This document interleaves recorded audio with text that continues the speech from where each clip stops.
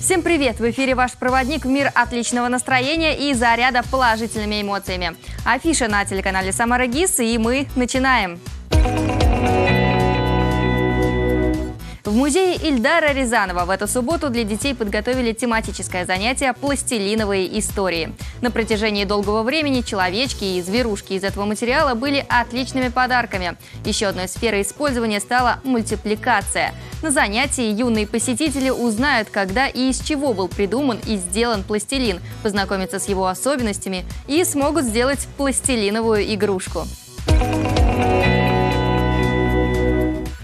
Четыре героя, каждый со своей историей. На сцене актеры показывают жизнь каждого, вживаясь и отстраняясь.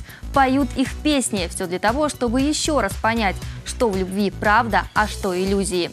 Это и смешно, и грустно. Смешно от самих иллюзий, а грустно от того, что эти иллюзии когда-то кончаются. В воскресенье в театре «Самарская площадь». Любимой Самаре в художественном музее открылась выставка, посвященная 150-летию со дня рождения Константина Головкина. Больше полусотни работ самого купца и картины из Золотого фонда музея, которые появились в Самаре благодаря меценату. Большая часть представленных работ посвящена уникальной природе Самарского края. Увидеть их можно до конца января.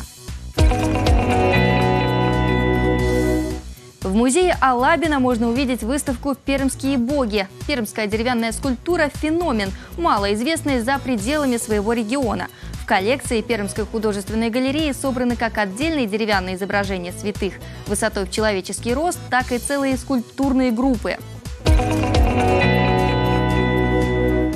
От классики до модерна. Живая музыка прозвучит в стенах музея модерна в субботу вечером. Для самарцев сыграют лауреаты международных конкурсов. В ДК железнодорожников в субботу состоится вечер индийской музыки и танцев. Самарцев познакомят с музыкальными традициями Индии. Зрители увидят классический танец катхак и услышат необычные фьюжн-композиции. На этом все. Сохраняйте позитивный настрой и не забывайте о маске, обязательном аксессуаре, если решитесь посетить общественное место. Ведь в регионе сохраняется масочный режим. Будьте здоровы. Пока-пока. Yeah.